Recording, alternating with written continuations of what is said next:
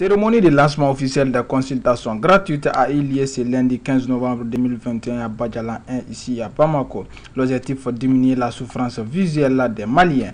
Une initiative de l'ONG ADFM en partenariat avec l'Optique Vision Plus Sénégal. Pour plus de précisions, écoutons ces quelques réactions recueillies par Youssouf Kone. L'objectif c'est que euh, nous sommes là pour euh, des consultations ophtalmologiques gratuites, bien sûr en collaboration avec euh, l'ONG ADFM que nous avons contacté pour faire ce genre des actions humanitaires que nous l'avons toujours faites ailleurs.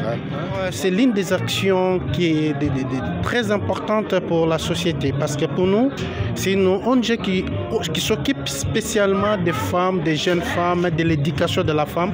Alors nous, nous pensons que éduquer une femme, c'est élever toute une nation.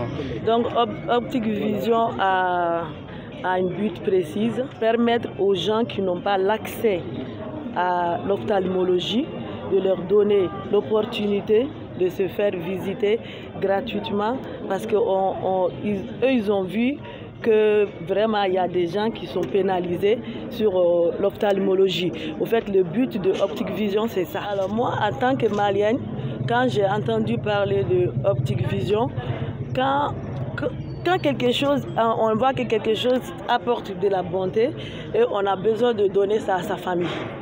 Donc j'ai pensé tout de suite à mon pays. Donc j'ai proposé automatiquement à Optic Vision ce que vous faites au Sénégal, j'ai vu. Et puis euh, j'ai vu que c'était quelque chose de bien et j'aimerais bien que mon pays en bénéficie en tant que malienne.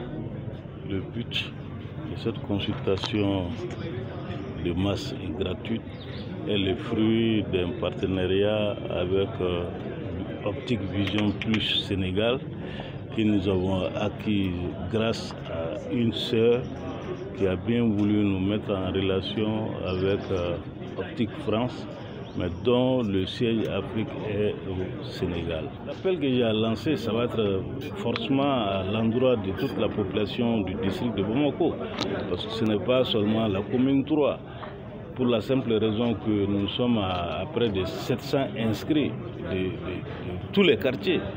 Donc l'appel que j'ai à lancer aux populations du district, c'est que c'est une opportunité, une aubaine pour eux, en tout cas de venir se faire consulter, au besoin de se faire soigner gratuitement.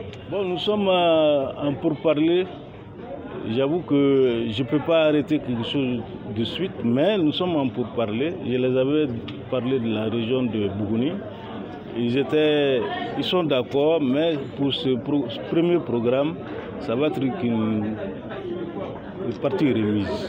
Une partie remise, certainement qu'ils iront à, à ou dans d'autres régions du Mali. Pour un rappel, la consultation gratuite continuera jusqu'au 30 novembre 2021. La beauté est dans les yeux de celui qui regarde.